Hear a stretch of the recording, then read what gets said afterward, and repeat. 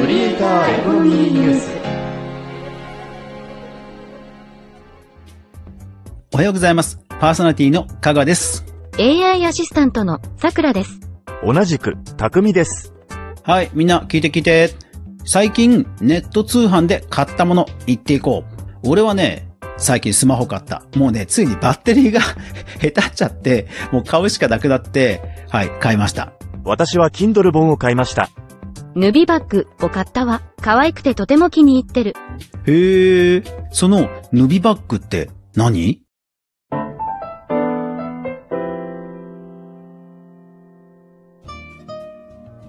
この番組はクリエイターやインフルエンサーの収益化にまつわる話題を毎日ゆるーく配信しているラジオ番組です。はい。というわけで今日はハンドメイド界隈の話題について取り上げていこうと思います。ハンドメイドってミンネやクリーマなどに出品している人も多いと思うんですが、どういう風にして集客するかわかる？やっぱり SNS とかからかな。うん、そうだよね。でもさ、それって、SNS でやっぱりものすごく有名な人とかが使える方法なんだよね。無名の人が、おいそれって真似できるものじゃないのよ。フォロワーさんをとにかくね、集めなくちゃいけないから。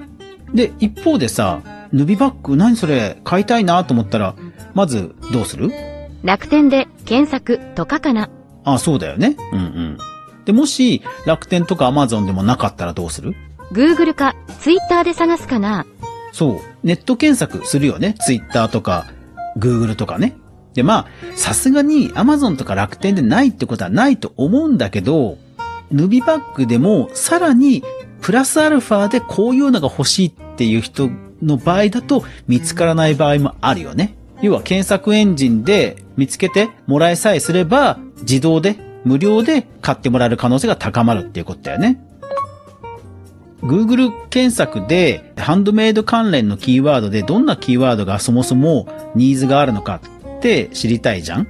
そうした時に私が使ってるのはキーワードプランナー。広告出稿予備軍の人ももちろん全然使っていいツールなので試しにこれを使います。例えばハンドメイドって検索します。あくまで参考なんだけど、ハンドメイドで検索して、私がいつもやるのは、前年比との比較です。検索ボリュームといって、たくさん検索されているものは人気があるとも言えるんだけど、一方で競合が多いから、さすがにそこをいきなり狙うのはちょっとどうかと思うので、成長しているものを見るというのはよくやってます。検索する人が多いキーワードは、そこを狙う競合も増えますからね。えー、っと、うさぎえと、レジン福袋、マンドゥバッグ、レジン100均、ヌビバッグ。ん？ヌビバッグってなんだ？ってなって、これ検索ボリュームはそんなに多くないんだけど、成長してるので、ちょっと興味が湧くわけですよ。で、Google の自分自身の好みが反映しないプレーンな状態での検索ができるモードがあって、シークレットモードって言います。これで、ヌビバッグで検索する。そうすると、広告、楽天、質問、ああ、ミンネだ。ミンネが表示されてる。つまり、ミンネで販売すると売れる可能性が高いということですね。まあ楽天に出せれば理想だけども、楽天はね、最低でも2万円とかするので、これがミンネの集客力ですよ。で、このミンネのリンクをクリックします。そうすると、ハッシュタグヌビバック、ミンネ内での検索結果が出ます。はい、ここでもう早速一つポイント。ミンネでヌビバッグを出品していて、さらにヌビバッグっていうハッシュタグをつけていない人はもうつけましょう。もうこれだけでもしかしたら売れる可能性があるかもしれない。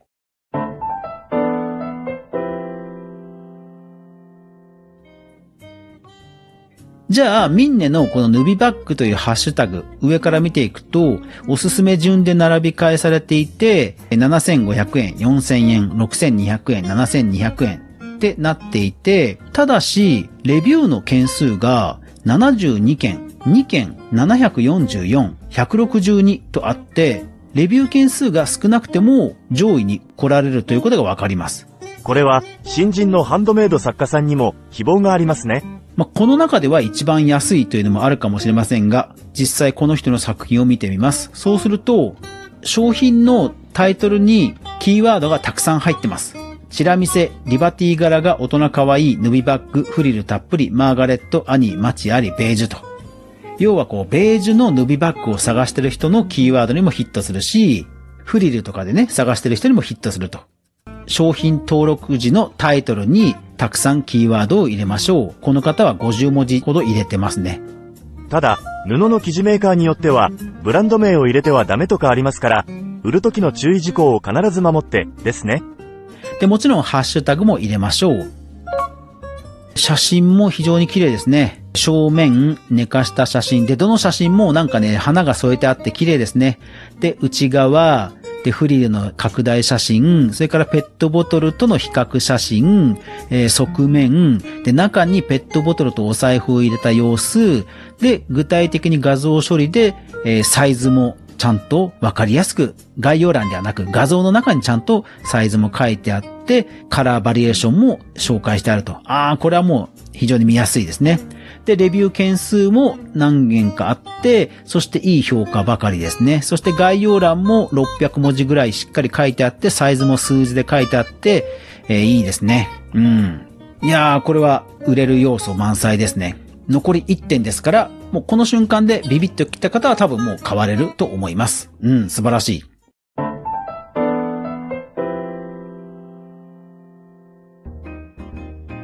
ただ、ネット通販ということでは、私ならもう一押し欲しいかなと考えます。と言いますのも、まあ、ミンネで買うことに慣れていないという人は、多分ね、ここで一旦冷静になって、あ、近所の島村で似たようなものないかなとかね、なんかね、考えちゃうんですよね。みんなに限らず、ネット通販というのは、やっぱりね、冷静になりがちなんですよね。仮に集客できたとしても、一押しが絶対必要なんですよ。で、楽天とかでしたら、ポイント還元とかね、いろいろ売り方の技があるんですけど、ミンネとかクリーマではそういうのはないので、工夫が必要です。ミンネで、ハッシュタグ、値引きと検索します。そうしますと、結構出てくるんですよね。しかも、すごく綺麗な写真の商品がたくさん出てきています。値引きをすると、ブランドが既存するんじゃないかと思われる人も多いと思います。ただ、もし私ならですよ。もし私なら、やっぱり駆け出しの頃は、売れる方を優先するかな。レビューの件数がやっぱり少ないと売れづらいですよね。でも、値引きのイメージがつくのは嫌だな。うん、その通りです。なので、はい、ハッシュタグ値引きのページを見てみますと、期間限定1000円引き。そう。限定することなんですよ。例えば10個限定とか、期間限定とか。ミンネでは値引き機能がないので、本当に手作業で値引きをしなくちゃいけないんですけども、理由があれば、お客さんを納得して買ってくださるはずです。特に期間限定であれば、あ、もう明日高くなっちゃうんだ。じゃあ買おうかな。と、最後の一押しになるんですよね。じゃあ、いくら値引きすればいいの？なんですけども、はい、メルカリで検索します。メルカリでヌビバッグと検索します。そして、カテゴリーをすべてにして、売り切れにチェックします。そうしますと、メルカリの全カテゴリーで、ヌビバッグで売り切れたものが新しい順で出てきます。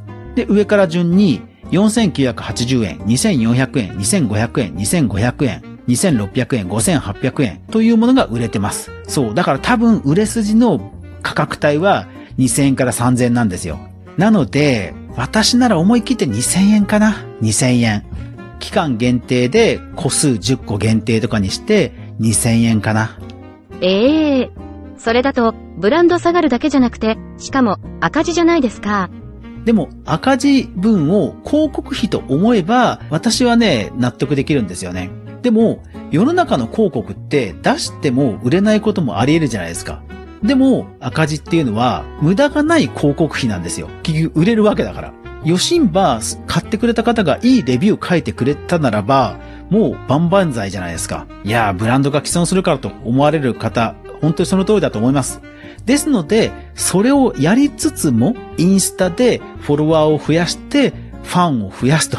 インスタで綺麗な写真を載せ続けて、ああ、素敵、素敵、いつかはこれ買いたいな、いつかは買いたいな、あ、この商品素敵って来てもらうっていう集客を増やすと。それができるまでは、やっぱり勉強代だと思って、ある程度未銭を切るのは必要かなとは思います。うーん、理屈は分かったけど、なんか私は嫌だな。そのままを評価してほしいかな。まああくまで、売り方の一つということですからね。ぜひ、皆さんのご意見も聞かせてください。はい、アフタートークです。200日後にポッドキャストアワードにエントリーする番組企画第19日目でございます。いやー、なんだかんだすぐに時間経っちゃいますね。うん。で、皆さんいかがですか？最近番組フォーマットを変えてみましたけど、いかがでしょうか？これ、自分としては、やっぱり聞きやすくなったなとは思っています。あの、昔から音声配信って一人語りは不利と言われてましたけど、確かに合成音声であったとしても、やっぱり複数人の絡みって聞きやすくなりますね。とにかく一人語りだと、その人自身と相性が合わなければもうそれでアウトですもんね。複数人であれば、なんとなく聞いちゃいますもんね。うん。いやー、やってみてわかりました。うん。